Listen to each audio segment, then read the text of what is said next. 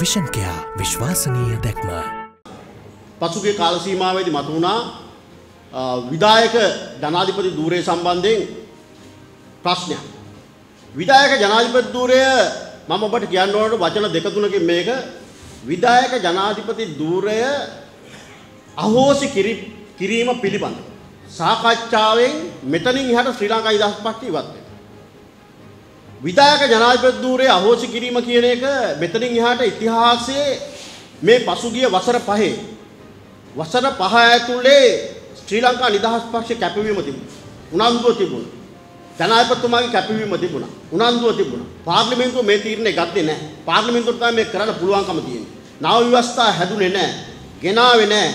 ඉතින් ඒක නිසා මෙතනින් එහාට ඉතිහාසයේ මෙතෙක් මට මතකයි මම ජනතා මිත්‍රයින්ට ඇති ජනතා විමුක්ති පෙරමුණට චන්ද්‍රිකා කුමාරතුංග මැතිණිය ලියුමක් දුන්නා මේක අහෝසි කරනවා කියලා. 94 මැතිවරණ වෙලාවේ ජනාධිපතිවරණ වෙලාවේ. ඒක නිසා ඉතිහාසයේ මෙතෙක් ශ්‍රී ලංකා නිදහස් පක්ෂයට තිබුණු විවේචනයෙන් ශ්‍රී ලංකා නිදහස් පක්ෂය ඉවත් වෙනවා. ශ්‍රී ලංකා නිදහස් පක්ෂය අහෝසි කරන්න ලෑස්තිලා හිටියා. ඒකට පාර්ලිමේන්තුව හෝ අනිකුත් පක්ෂ කණ්ඩායම් කවුරුත් සූදානම් වෙන්නේ නැහැ. ඒක නිසා ශ්‍රී ලංකා නිදහස් පක්ෂයට මෙතනින් එහාට අදාළ වෙන්නේ නැහැ විධායක ජනාධිපතිතුමා අහෝසි කරන්න ශ්‍රී ලංකා නිදහස් පක්ෂේ සහයෝගය දුන්නේ නැහැ උදව් කරේ නැහැ කියන එක.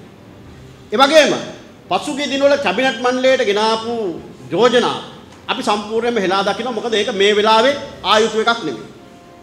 ඒක මේ වෙලාවේ ආයුතු එකක් නෙමෙයි.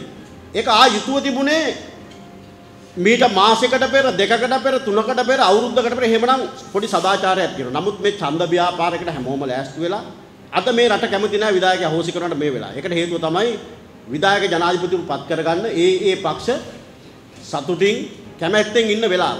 ඉතින් ඒක නිසා ඒක මැද්ද ගෙනල්ලා ගහුවම ඒක පොඩි තියෙනවා දේශපාලන සටකපටකමක්, කෛරාටිකකමක් පේනවා විධායක අහෝසි කරන්න කියන යෝජන. නිසා මට ඔබට කියන්න ඕනේ ඒක නෙමෙයි මට කියන්න ඕනේ මෙතනින් එහාට ශ්‍රී ලංකා නිදහස් පක්ෂ මේ විධායක අහෝසි කිරීම සම්බන්ධයෙන් ප්‍රශ්නේ ශ්‍රී ලංකා නිදහස් පක්ෂයට අදාළ කාරණයක් බවට පත් වෙන්නේ නැහැ. ඉතිහාසෙ මෙතෙක් ශ්‍රී ලංකා නිදහස් පක්ෂයට තිබුණු විවේචනය ඒ මැදිහත් වීමෙන් අපි ඉවත් වෙනවා.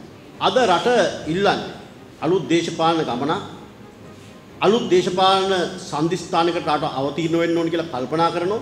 වගේම 2020 ජනාධිපතිවරණයෙන් පස්සේ 2020 ජනාධිපතිවරණයෙන් පස්සේ රටේ ජනතාව නැවුම් බලාපොරොත්තු තියාගෙන ඉන්නෝ අලුත් ආර්ථික වැඩපිළිවෙලක් අලුත් අ, ජාතික වැඩපිළිවෙලක් සහිතව රට ඉස්සරහට ගෙනියන්න. ඉතින් මේ සඳහා ශ්‍රී ලංකා නිදහස් පක්ෂයේ ශක්තිය, දායකත්වය, කැපවීම සම්පූර්ණයෙන්ම රට හමුවේ තබනවා කියමින්